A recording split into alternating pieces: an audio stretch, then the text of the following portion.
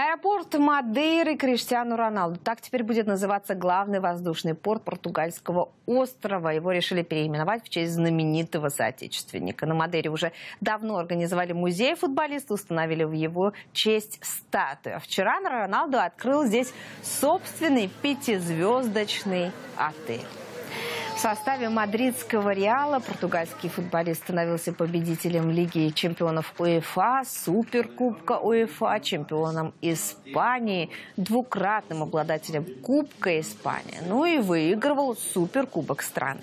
А в составе сборной Португалии Криштиану Роналду стал чемпионом Европы 2016 года. Ну что ж, и теперь он, конечно, будет еще и владельцем отеля, попробует себя в этой сфере. Смотрите, какая красота.